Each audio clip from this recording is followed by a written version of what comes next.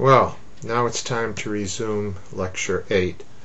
And this is part 2 of Lecture 8, and the lecture is on clutter rejection, MTI, and pulse Doppler processing, and it's part of the Introduction to Radar Systems course. Well, now it's move, time to move on to pulse Doppler processing techniques. Here we're going to look at the whole concept of pulse Doppler filtering, and we're going to go over some basic concepts to understand pulse Doppler filtering in detail, and then we'll follow that with an example of the moving target detector, the so-called MTD uh, implementation, and then we'll uh, discuss range Doppler ambiguities, which will actually be in the third part of the lecture, and airborne radar, and summarize. But first, let's talk about these subjects. You've seen in the previous um, part of the lecture uh, this diagram, and it's the data collection diagram for Doppler processing. It shows you how data is collected when a number of pulses marked here in blue are transmitted, and here we see uh, the little dots uh, of the samples of the echoes that are received. And we see here, just to review it, uh, we see the pulses and then the echoes from that pulse, another pulse transmitted and its echoes, so that from pulse 1, this would be up here sample 12 at say 8 kilometers, and for pulse 2, sample 12, pulse 3, sample 12, and those samples uh, for a given pulse number, say pulse 1, all those samples would fill a row okay? And this uh, these points at, at pulse 1 2 3 4 at a certain range would fill a column. And here would be the samples at a, the same range gate. Okay? And so the data that comes in from the radar receiver from these different pulses would first go through an A to D converter where it would be digitized. Uh, we'd sample both the real and the imaginary part of the of the signal, the in phase and quadrature I and Q samples, and these samples, the complex envelope of the received waveform would we'd use to fill up this. We visually show it as a matrix what would fill up a memory. So we fill up the memory row at a time, and then we um, process it one range cell at a time. And the question is, how do we process these different, uh, where we have multiple returns from the same range cell uh, to give us Doppler resolution of the radar. Remember when we processed, when we were talking about MTI processing, we just send out two pulses and we'd subtract them, or three pulses and we'd take the first one minus twice the second plus the third one, and that would be a kind of filtering, uh, um, a, a high pass filter that would pass anything that was moving. Okay? Now we're going to look at much more complicated processing where instead of just seeing if the target's moving, we're going to make an actual measurement of the target's velocity, radial velocity that is.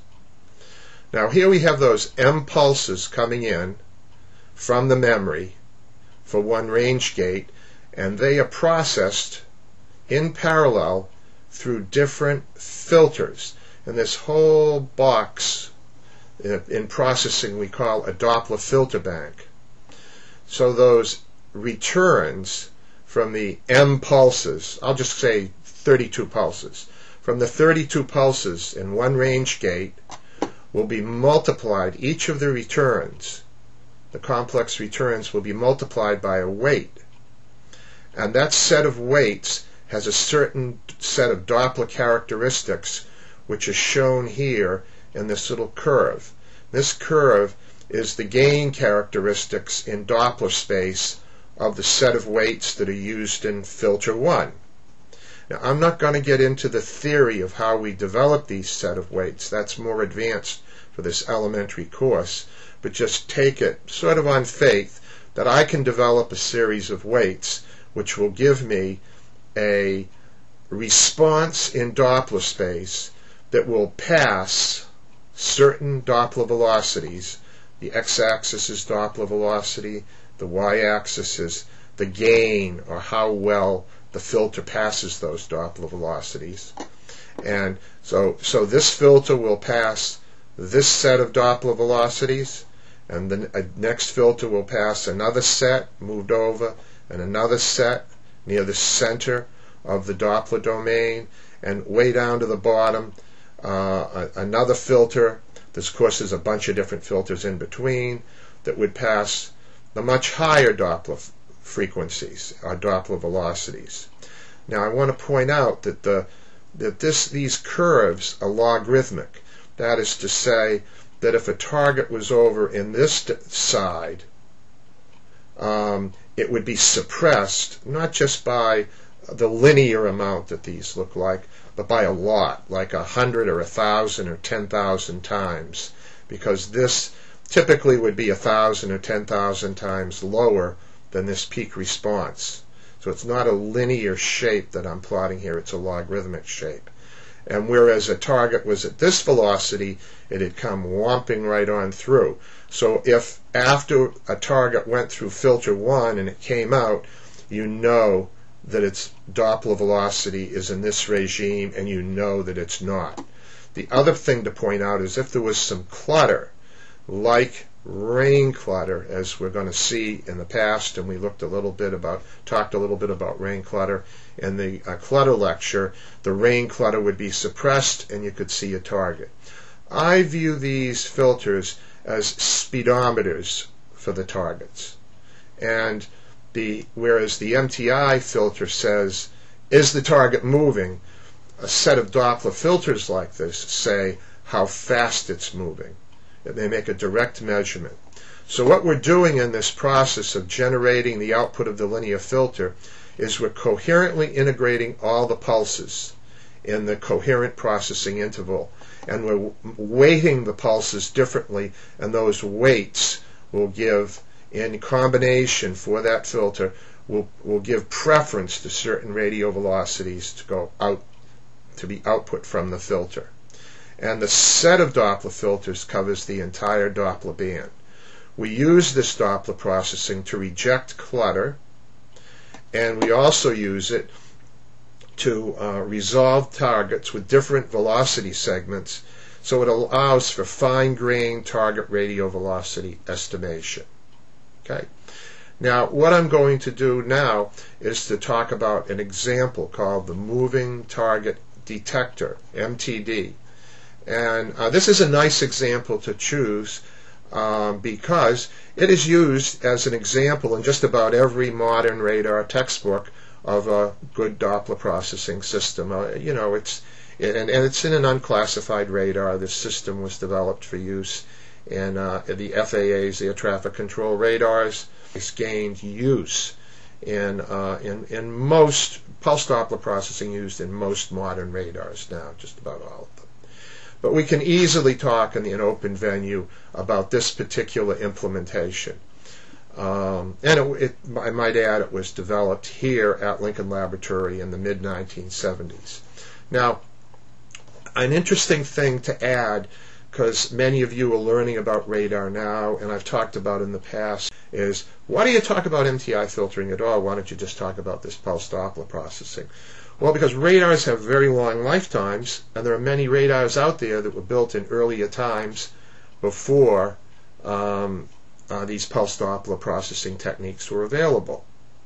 So, in, for understanding radars that are out in the world today, MTI techniques are important to understand. Okay. Uh, the second thing is is is is to contrast the two. Is that this particular process the moving target detector implementation of a signal processor to reject clutter. You couldn't have done it in the 50s and 60s because of the di- digital revolution hadn't really come about. It was only with the advent of the invention of integrated circuits to uh, a lot of people in college now, integrated circuit seems like uh, a pencil. You know, I mean, it's just like, what do you mean, in- invention? But back in the in the 70s was when the, the thought was that you could implement a lot of thi- a lot of signal processing techniques that you could never have done before because there was an exponential growth in the power of what computers could do. Back in the 50s and 60s, the, the, the power that we had with transistors, uh, it would have been way too costly and, and huge in volume uh, to implement uh, a, a, moving target detector. Just an impossible task to implement it in a, in a radar uh, with the technology available. It was just about ready to be done in the early to mid 70s, and that's when it was done. Now that we've moved another whole generation later, and we speak of uh, you know hundreds of gigaflops, like um, the implementations of the complexity of signal processing is just far more, far more uh, available to be done. It's it's almost like saying signal processing is is is now for most radars is a very small fraction of the cost of the radar. Um, so I'm going to show you this implementation and just compare historically you know, between what we could do, by, say, back in the 60s and then in the mid 70s, and you can just extrapolate now with Moore's law uh, what we can do in the in the year 2008 and beyond.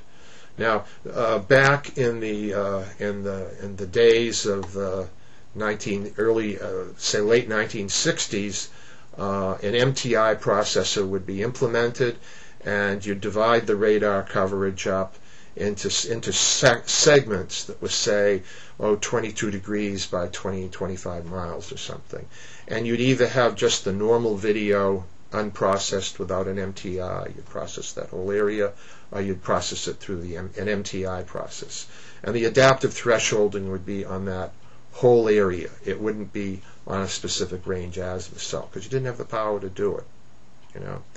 And um, a, it was a time also where we weren't really understanding that hardware uh, and software in the algorithmic needed to get together in a, in a solid systems engineering point and, and be work together in an integrated fashion. And, uh, and consequently, uh, the, at those times, in many cases, the software people who would be doing the tracking would point to the uh, hardware people in the signal processor and say it's their problem. They sent us these false alarms. And then the hardware people would say, ah, it's the software people. They can't develop a tracker to handle reasonable amounts of false alarms. Well, this digital uh, digital revolution allowed solutions so that you could very nicely integrate the problem and come to a very nice understanding. So what we, was implemented in this MTD for every range azimuth cell, for every CPI, co- coherent processing interval and width by range cell, uh, and there are a couple hundred thousand of them in the coverage, um, a Doppler filter bank with eight or more Doppler filters. And then also, there was also a clutter map which broke the range azimuth coverage up into 300,000 cells. And uh, a zero velocity filter would just measure with a, a, what's called a one pole recursive filter. It would just build up and measure the ambient background in that very fine cell and store it in a clutter map. And then uh, and, and this would be so that even if a target was flying tangentially to the radar, if in that cell that was just receiver noise, you could set an adaptive threshold that would see the target. Output of the Doppler filter bank would go into adaptive thresholding, and we're going to see. Uh, let's see. We looked in chapter in lecture five at the different adaptive thresholding techniques, and an adaptive thresholding technique, just about like what we went over in uh, lecture uh, 5, uh, was implemented for every range azimuth Doppler cell. So th- this system was uh, adaptively thresholding every scan of the radar three and a half million cells.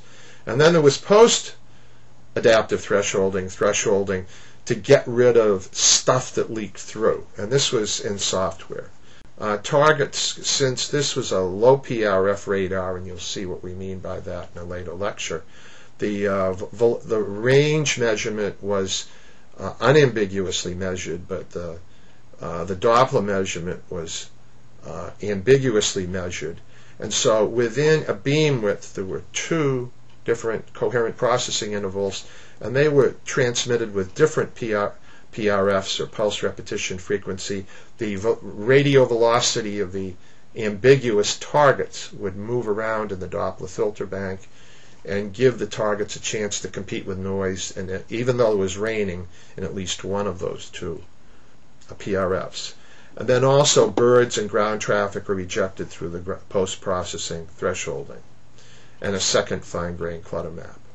Here is the picture of the airport surveillance radar. This particular one is located in Boston. It looks pretty sure that looks like the Boston skyline to me. So this would be the ASR 9 at Logan Airport. And here's a picture of the overlapping uh, filters in the ASR 9. After the MTD was tested as a prototype at Burlington, Vermont, its characteristics were put into the specifications for the FAA's ASR 9 procurement, and the, MTD was implemented in the ASR 9. And over here we see an example of how the ASR 9 uh, could detect uh, targets in the presence of rain. Uh, here we see the, the response, and again notice it's a logarithmic. The gain of the filter is logarithmic. We see the gain of one filter, and we have a target in the center of that filter. And here we see a, the target with a radial velocity of 30 knots. And of course that means if we've got a uh, as you'll see when we discuss two view graphs later, that uh, this could be a target with a radial velocity, a true radial velocity of 30 knots, or one with a velocity of 130 knots that because of the um, so-called blind speeds, which we'll discuss two view later, alias down or folded over and appears in this filter. So the target is right here. And then we have rain echoes, which, well, the rain echoes seem to be coming from 60 to 100 knots. Well, it turns out this is minus 20 knots uh, folds down in this visualization of the radial velocity folds down into plus 80. And you'll see an example when we talk about blind speeds, this uh, any ambiguous velocity measurements, these folding over effects. So that in this case, we have the aircraft competing um, at the peak, excuse me, of, of this Doppler filter, and the rain echo being suppressed by the 40 dB down side lobes of the Doppler filter. So the rain echo would be suppressed, and the target would be seen in this particular filter. Okay. Now, what does this mean when you put it all together? Now, remember I showed you in the um, lecture on clutter this very heavy rain that was in uh, Atlantic City, and here the, the, the rain was just disgusting. It was 30 dB above receiver noise level, and it was the heaviest rain all summer in August of 75. And that was the day we chose to send up a Piper Cherokee and fly through that rain. And here we see the uh, 40 scans of data that, that come out of the automatic tracker, radar only, not reinforced with a beacon or anything. And we see unity blip scan ratio of that Piper Cherokee as it's flying around in this very heavy rain. So we're suppressing the rain and we're seeing the target like a piece of cake.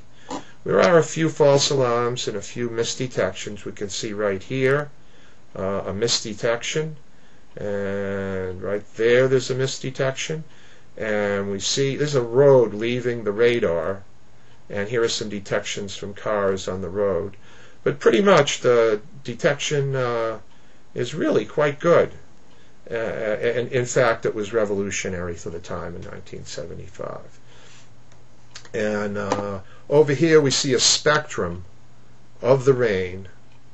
And in this case you see that the rain is offset.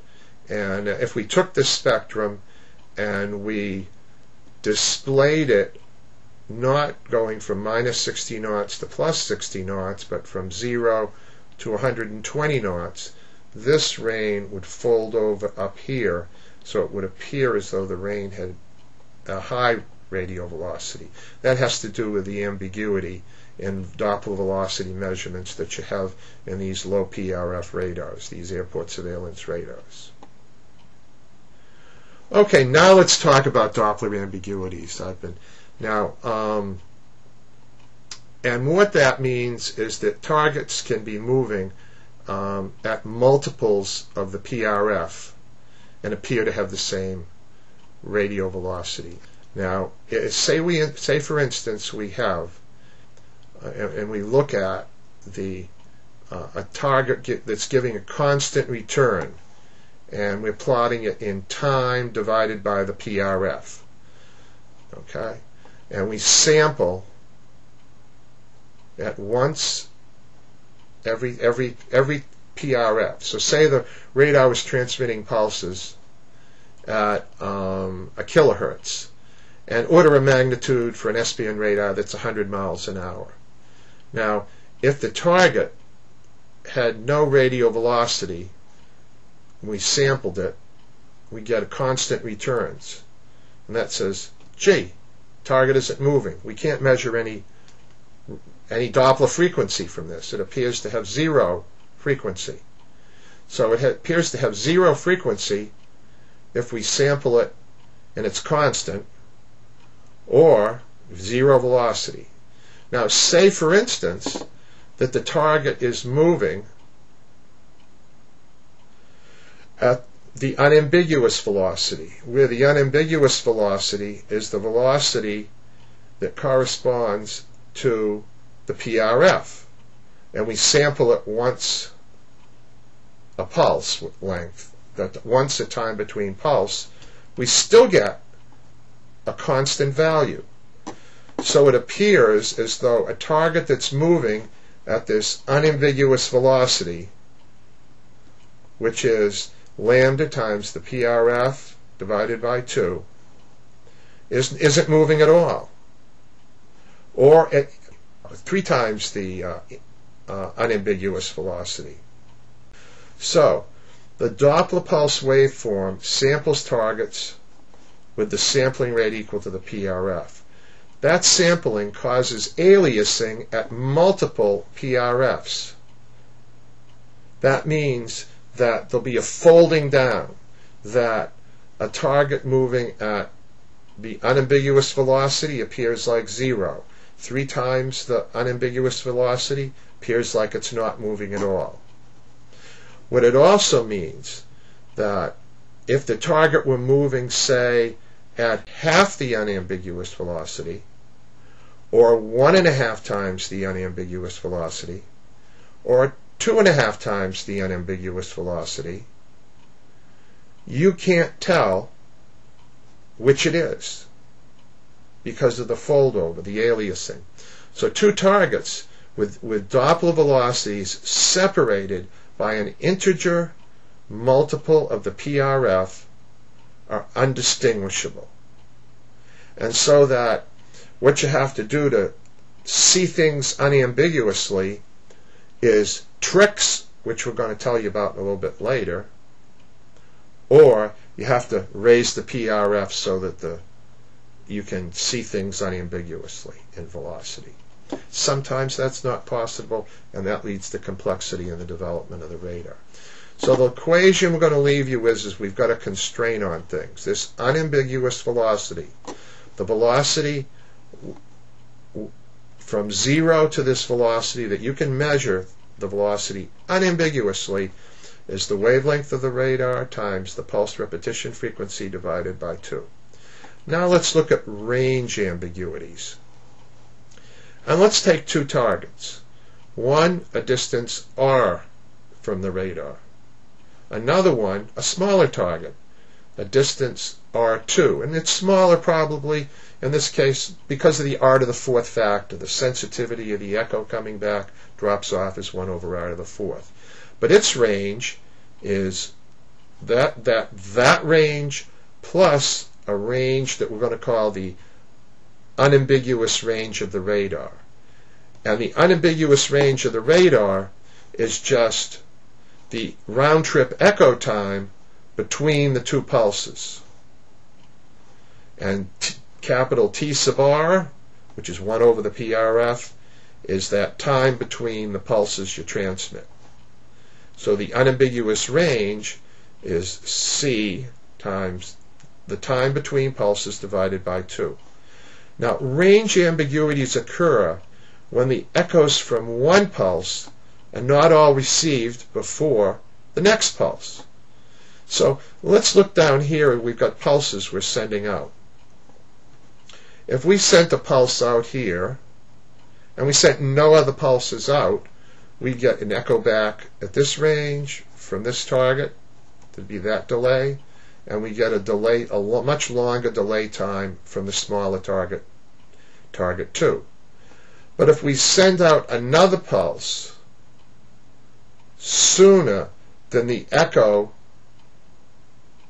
that this pulse generates from the one before it, then we can't tell uh, when we listen after the second pulse whether the echo is from a target at R1, a target distance R1 away, or R1 plus the unambiguous range. And so after we send out the second pulse, send out one pulse, then we send a second one out, you'll get both R1 and R2 coming back at the same time. And what that means is close targets, like clutter, say this was clutter, can mask weak, faraway targets that we want to see. And that gives a problem. So we have a, an ambiguity problem in range. So we've had a discussion of the unambiguous range and the unambiguous Doppler velocity.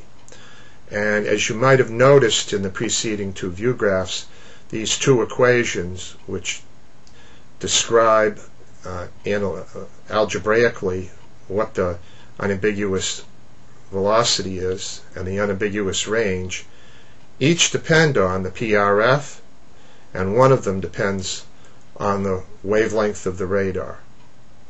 So what we can do is for each frequency band of radars that we talk about, and here we picked a particular frequency within each of the bands, the major bands, and there, is, there are other bands too. I haven't put L band in here at 1.35 or C band, which is halfway between 3 and 10 gigahertz. Um, but for each of these different frequencies that radars operate at and have a corresponding wavelength of the electromagnetic radiation, there is a, a connection between the unambiguous range you can have and the unambiguous velocity that you have and that's defined by this line. Okay? Now, let's look at two different examples and see what this says. Um, and before I do the examples, I'll say this one graph says you can't have your cake and eat it too in most cases.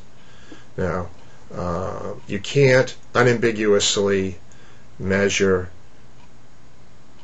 targets out to arbitrary range and arbitrary radial velocity with one set of pulses. And we'll get to uh, in later pieces of the lecture how you do that unraveling of the ambiguities to actually measure the velocity.